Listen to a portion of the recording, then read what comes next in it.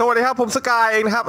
คลิปนี้นี่ผมก็จะมาวาดตัวที่แบบเหลือเชื่อมากเลยว่าผมจะมาไกลขนาดนี้ครับ กับไททันดริวแมนนะครับอ่านี่หัวก็จะแหลมๆแบบนี้เลยครับมันเป็นสว่านนะครับอ่าสว่านยักษ์เลยครับนี่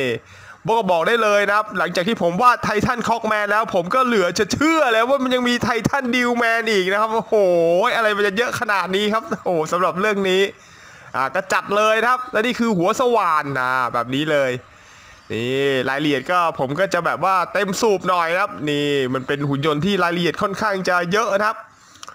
อ่าดูไปดูมานี่ผมนึกว่าเป็น super robot นะหลังๆนี่เรื่อง Skibidi นี่ผมว่ามันเป็น super robot หรือเปล่าเนี่ยโอ้โหแบบหุ่นยนต์แต่ละตัวนี่ไททันอลังการมากเลยอะอ่าแล้วนี่คือโครงตัวนะครับนี่ก็ประมาณนี้เลย เราล่างโครงก่อนครับ อ่าดีตัวอ่าแล้วนี่ก็จะเป็นอ่าคล้ายๆเตาปฏิกรณ์นะแต่มันเลอะเทอะเลยอะ่ะเอออ่าแล้วก็ตรงนี้ก็จะเป็นช่วงลำตัวนะครับ แล้วก็สะโพกนี่กางเกงในตรงนี้นะครับอ่าเราต้องมีโครงก่อนนะครับ ถ้าเรามีโครงแล้วเราจะทำให้เราวาดได้ง่ายแล้วก็สวยยิ่งขึ้นนะครับอ่าสัดส่วนเราจะได้เพี้ยนน้อยที่สุด นี่คือขามันนะครับ ขามันจะแยกๆเป็นแหลมๆเหมือนกรงเล็บเลย นี่หัวเข่าขาท่อนล่าง นี่แล้วก็ขายนิดนึงนี่ข้อเท้าครับตรงนี้แล้วเป็นเท้าอ่าต่อไปก็จะเป็นจุดที่สำคัญนะครับ ก็นั่นก็คือมืออ่านี่หัวไหล่มันจะเป็นสองท่อนอย่างนี้นะครับ แล้วก็เอ่อตรงนี้มันจะเป็นอ่าหัวไหล่นะครับเกาะไหล่อ่านี่ประมาณนี้อ่านี่คือการล่างโครงครับล่างๆไปก่อน แล้วก็จะมีแขน แขนก็เป็นสว่านนะสมชื่อเลยนะครับ Titan Drill Man ก็ก็ต้องมี drill นะครับมีหัวสว่านเบ้อเร่อเลยแบบนี้อ่าประมาณนี้ก่อน เราจะต้องวาด act ท่า act art ให้กับตัว Titan Drill Man นะครับนี่แบบนี้เลย นี่ก็ให้แบบยืนนิ่งๆ อย่างเงี้ยครับเฟี้ยวๆบอกแค่ท่ายืนนี่ก็อลังการแล้วครับ นี่โอ้โหเดี๋ยวหัวสว่านผมว่าวาดเบ้อเร่อเลยครับ ใหญ่ๆสองข้างนี่อย่างนี้เลย อ่าพอเรามีร่างโครงที่ยืนเท่ๆแล้วเราค่อยเติมรายละเอียดครับอ่านี่มันจะได้ง่ายเลย ก็เริ่มจากไอ้ตรงกลางนี่ก่อนเลยครับอ่าตรงกลางมันจะเป็นคล้ายๆแบบ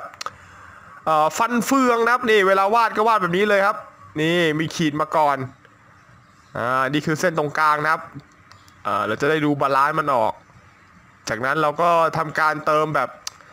เขาเรียกว่าอะไรอะอ่า สี่เหลี่ยมแบบคล้ายๆกำแพงเมืองจีนนะครับนี่อย่างนี้เลยมันจะเป็นรูปสว่านเนี่ยเดินพยายามเดินตามเส้นนะครับเส้นที่เราลากเอาไว้นี่ประมาณนี้นะครับคล้ายๆกับกำแพงเมืองจีนอ่านี่แบบนี้เลยครับค่อยกระจึกกระจึกกระจึกไปครับอ่ามันจะเป็นฟันเฟืองเลย นี่แบบนี้ค่อยๆ นี่ผมอาจจะลากแล้วเบี้ยวบ้างไม่เบี้ยวบ้าง นี่ครับ นี่ขนาดมือผมจะต้องหมุนไม่หมุนมาเลยครับนี่ เพราะว่ามันวาดแล้วมันไม่ไปแล้วมันไม่ถนัดอ่าถ้าเป็นปกติควรจะกลับกระดาษกลับไปกลับมานะครับอ่ามันถึงจะวาดได้ค่อนข้างจะสมบูรณ์นะครับอ่าต่อไปก็เป็นการเติมรายละเอียดครับจงช่วงอ่าจงช่วงด้านข้างมันช่วงด้านบนมันจะเป็นอย่างนี้ครับอ่านี่อย่างเงี้ยครับค่อยๆแล้วมันก็จะมาสุดตรงนี้อ่านี่ครับ นี่หลังจากนั้นมันก็จะเป็นแบบนี้ แล้วก็มาถึงเปล่าราวๆตรงนี้ มันก็จะมีช่วงด้านบนยื่นออกมาครับเป็นมุมสามมิตินะครับแบบนี้เลยอ่าเราก็จะได้ฟันเฟืองแบบสวยๆเรียงงามๆนะแบบนี้อ่านี่ครับนี่แล้วก็ลากลากขอบมันนิดนึงอ่าเนี่ยเพอร์เฟกโอเค เราได้ฟันเฟืองขนาดยักษ์แล้วก็ตามด้วยชุดเกาะเลย ตรงนี้คือแผงคอนะครับปกคอ เป็นเกาะเหล็กตรงคอ นี่ประมาณนี้ ตูมใส่ไป แล้วก็รายละเอียดเล็กๆน้อยๆครับนี่ก็ใส่ใส่ไปครับ อะไรก็ไม่รู้นะครับก็ใส่ไปเออดีตรงนี้ก็เป็นตัวที่เชื่อมกับไหล่แล้วตัวนี้คือลายหน้าอกนะครับอ่าให้มันดูแบบมี detail นะครับ ซึ่งผมก็มั่วๆเอานะครับ ไม่รู้ว่าคืออะไร จัดไปนี่นี่คือช่วงช่วงเอว โอเค ต่อไปเราก็มาวาดหัวไหล่กันครับ ตรงนี้คือที่เชื่อมไหล่นะครับอ่าแล้วก็มีเกราะไหล่ตรงแบบนี้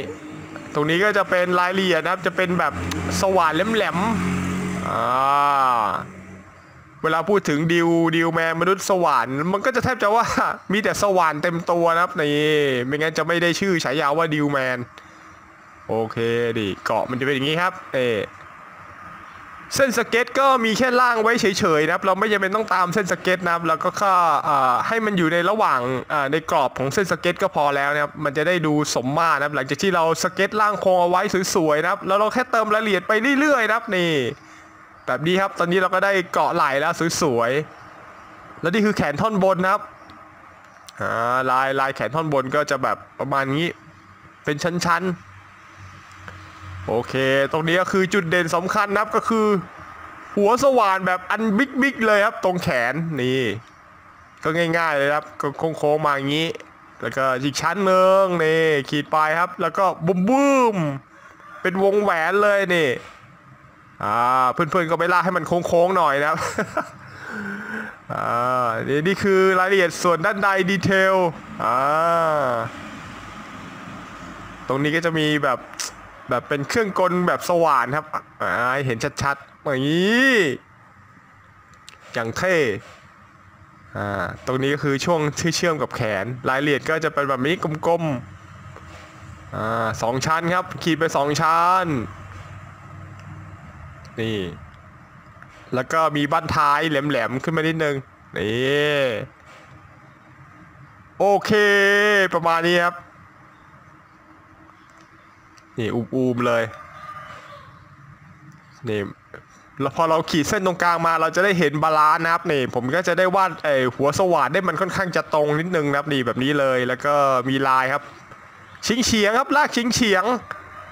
อ่ามันไม่มีสว่านตรงไหนที่มีลายตรงนี้แล้วเป็นตรงๆอ่าแบบแบนๆนะนี่มันต้องเอียงๆอ่านี่จะเหมือนหัวสว่าน สุดยอดเป็นลายสว่านเลย อ่าผมก็เติมดีเทลหน่อยครับนี่ มันจะมีร่องร่องๆหลืบอ๋อนี่ทาสีให้เห็นชัด โคตรเท่อะเติมเข้มๆหน่อยครับ หัวมันเริ่มจะอ่อนแล้วนี่นี่คือหัวมันนะครับ เติมให้ชัดๆหน่อยอาไอตรงขีดขีดนี่คือลายสว่านมันนับนี่อะเติมเลยครับสัญญาณรับ นี่สัญญาณรับสัญญาณอ่า 4K อ่านี่ก็คือตัวเชื่อมไหลหรือหัวไหลอีกข้างหนึ่งนับดีใส่ไป แล้วก็เกาะไหลเบลเลอร์เบลเลอร์ก็วาดให้เหมือนกับอีกข้างที่แล้วนะครับ มีตรงนี้เป็นแหลมๆเป็นหนามหนามสว่านนี่โค้งๆเพื่อนๆก็สามารถไปโค้งให้สวยกว่านี้นะครับอ่าผมนี่คือผมโค้งแบบลูกลวกนะครับ ให้ดูเหมือนจะกลมนะครับ นี่แล้วนี่คือเกาะไหลอะเป็นมุมอย่างนี้นะครับ นี่ค่อยๆลากมา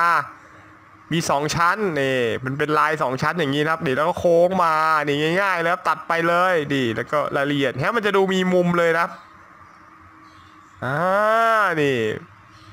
เกราะมันจะดูเป็นมุมสามมิติโผล่มามีลึกเกือบกว้างเลยครับนี่แบบนี้เลย นี่แล้วนี่คือแขน แล้วก็หัวสว่านเบลเลอร์เบลเลอร์อีกข้างหนึ่งก็วาดคล้ายๆข้างที่แล้วเลยครับ อ่ามีลายตรงนี้มันนิดนึงแล้วก็วงแหวนเบลเลอร์เบลเลอร์หน่อยอ่านี่ ตรงนี้ก็เว้นลงมาหน่อยครับ เพราะว่ามันจะเหมือนข้างที่แล้วครับ จะมีข้างในกลไกนี่ตรงนี้อ่าสมจริงโคตร แล้วก็วาดตรงท้ายครับ ท้ายสว่านอ่าแบบนี้สองชั้นไม่ไม่ใช่สองชั้นเด็กกลมๆอ่าแล้วก็สองชั้นปึ๊บ นี่บ้านท้ายสองชั้นแล้วก็มีแท่งนิดนึงอ่าแล้วก็ปิดท้ายด้วยหัวอ่านี่ประมาณนี้เลยครับ แล้วก็หัวสว่านแหลมๆ นี่ขีดเส้นตรงกลางครับ จะได้เห็น balance นะครับ เราเวลาเราเวลาผมวาดผมก็ต้องมีเส้นร่างร่างโครงตรงกลางอย่างนี้ครับ มันจะได้ทำให้ดูแล้วสมมาตรแล้วก็เวลาวาดเราจะได้วาดเห็นสมดุลนะครับ แล้วก็จะดูสวยงาม นี่รอยรอยรอยสว่านนะครับนี่นี่มันก็ต้องแบบอิงเอียงเฉียงเฉียงนะไม่ใช่ไม่ใช่แบบแนวนอนนะแบบนี้เลย โอ้โหโคตรเฟี้ยว ต่อไปเราก็เติมรายละเอียดของช่วงเอวช่วงกางเกงในนะแบบนี้เลยนี่ง่าย ๆ ขีดเป็นกางเกงใน แล้วก็เติมลายหน่อยอ่ามันเป็นเกาะกางเกงในครับกางเกงในเหล็ก โอเค แล้วก็ขาอ่าเติมน่องมันหน่อยครับแล้วนี่คือลายครับ ลายให้มันดูเหมือนเป็นหุ่นยนต์นะหุ่นกระป๋องขนาดเบลเลอร์เธอดี ประมาณนี้เลยแบบประกอบเข้าไม่สนิทครับ มันเป็นรอยประกอบเข้าไม่สนิทนะแล้วก็ตามด้วยลายนี่มีรูมีรูระบายอากาศอ่าบอกได้เลยครับไททันดิวแมนนี่ดูดูไปนี่ก็คล้ายๆตัวตุ่นเลยนะครับ ผมมักจะเห็นตัวตุ่นที่ดีไซน์หุ่นยนต์มันมักจะเป็นแบบนี้เลยครับโอ้โหแบบตัวตุ่นก็ขุดดินครับไอ้ดิวแมนนี่ก็ขุดดินก็เลยลักษณะคล้ายๆกันเลยครับนี่แต่ส่วนของขานี่จะเป็นแบบขาหุ่นยนต์เลยนะนี่ นี่ประมาณนี้ครับ มีกลมๆ เป็นรายละเอียดดีเทล อารมณ์เหมือนมินน็อตหรืออะไรสักอย่างยื่นออกมานะครับ อ่า แล้วก็มีที่จับ นี่ มันจะได้ดูเหมือนกับอ่าหุ่นก่อหุ่นยนต์ก่อสร้างนะครับ อ่า มันจะมีที่จับแบบนี้ ขีดมา นี่นี่ประมาณนี้นะครับ โอเค มันก็จะเป็นช่วงของ เอาหัวเข่าเลยครับนี่ เติมให้มันดูหนาๆนิดนึงอ่าแต่ขามันจะรีบๆนะนี่มีมีแท่นจับตรงนี้ แล้วตรงนี้คือช่วงขานะครับขาท่อนล่างก็จะเป็น 2 ชั้นหนึ่งแล้วก็เติมกรอบตรงนี้นิดนึงแล้วก็ชั้นที่ 2 นี่ประมาณนี้พอแล้วครับอ่าแล้วนี่คือฐานขามันมีน็อตหน่อย แล้วก็เติมกรงเล็บครับ นี่ขามันจะเป็นคล้ายๆแบบ เป็นรูปกรงเล็บใหญ่ ๆ เลยครับ นี่แล้วก็มีด้านหลังอ่ามันจะได้ยืนมั่นคงนะแบบนี้เลย โอเคดีได้แล้วแล้วก็อีกข้างหนึ่งก็เหมือนกันเลยนะครับน่องตุมๆแล้วก็หัวเข่านี่หัวเข่าก็จะเป็นหกเหลี่ยมนะแบบนี้เลยนี่เนี่ยดูจากข้างนี้นะให้มันดูให้มันเท่า ๆกันนะ ผมยังต้องวัดระยะเลยนะ เพราะไม่งั้นเดี๋ยวขาอีกข้างหนึ่งจะไม่สมดุลกับอีกข้างหนึ่งนะครับนะการวาดรูปถ้าเรารักษาสมดุล balance ได้ก็มีชัยไปกว่าครึ่งเลยนะครับอ่าถึงแม้จะวาดลูกล่วงนะครับ แต่ว่าจะทำให้ภาพนั้นดูออกมาได้ค่อนข้างจะดูดีนะครับอ่าฉะนั้นเราก็ต้องมี balance นะครับเนี่ยดู balance ให้ดีนะครับ เราอาจจะ balance ไม่ได้ แต่ถ้าเกิดเราสามารถควบคุมได้ในระดับหนึ่งนะครับ ถึงแม้จะเบี้ยวบ้างนิดๆหน่อยๆ ก็ถือว่าไม่เป็นไรนะแต่อย่าเยอะนะถ้าเบี้ยวเยอะนี่มันมันไม่มันจะดูแบบอะเพี้ยนได้เลยนะอ่าเราก็ให้มันเบี้ยวนิดเดียวก็พอแล้วมันจะดูเป็นธรรมชาตินะครับอ่าฉะนั้นเราต้องมีการร่างโครงนะครับ แล้วก็มีเส้น balance เป็นเส้นตรงกลางให้เราเห็นชัดนะครับนี่นี่การวาดเราจะได้วาดได้อย่างง่ายนะครับ แล้วก็วาดได้ทุกรูปแบบนะครับนี่แบบนี้เลย นี่ดูวัดระยะก่อนนะครับนี่ต้องวัดนะครับบางทีสายตาเรามองเฉยๆมันมันมองแล้วมันหลอกตา เราต้องใช้อะไรสักอย่างหนึ่งมากะระยะนะครับอ่านี่เวลาดูผมก็ดูให้ชัดๆเลยนะครับนี่พยายามให้มันใกล้เคียงที่สุด โอเค นี่ประมาณนี้ แล้วก็เติมช่วงขาไป นี่ใส่น็อตแล้วก็แหลมแหลมๆอ่านี่ ตัวนี้ก็ถือว่าดีเทลก็ค่อนข้างจะเยอะเหมือนกันนับเส้นเนี่ยแต่ออกมาก็โอเค สมบูรณ์แบบ โอ้โหเฮ้ยดูดูๆไปก็เท่นะเนี่ยตัวนี้อะสุดจริง อะตอมิกเอ็กโคเชดเคด้วยพิงศาสตร์เวอร์มิเลียนทำให้หยาบกระด้างแข็งกร้าว สว่านเคลือบแซนให้ยาวใหญ่ตันๆทั้งดุนให้เสียวสีปาซิเวอร์ทับอีกเลเยอร์ ใจต้องแก่งทิมทะลวงให้สุดแม้มือจะเมื่อย เว้นแสงขาวไว้ปลายปลาย ก่อนจะระบายเพลินจนลืมไปว่า เราต้องประหยัดสี แล้วใส่ cream base รองพื้น ชักมือเข้าออกปาดซ้ายปาดขวา ไม่เมื่อย จะไม่หยุดชัก บางส่วนแปะ orange ให้มีมิติ ลูกผู้ชายหัวใจสว่านชอบทะลวง เคลือบน้ำยา light ochre ทับทุก layer อย่างทะนงองอาจ ซอยละเอียดทุกซอก ทะลวงทุกช่องว่าง นิ้วไม่ล็อกจะไม่หยุดปั่นพ่นสีดำไม่ต้องกลัวเลอะ เขาแม่งเละตั้งแต่เริ่มแล้ว แม่เจ้าทำไมมันอลังการมหากราบเยี่ยงนี้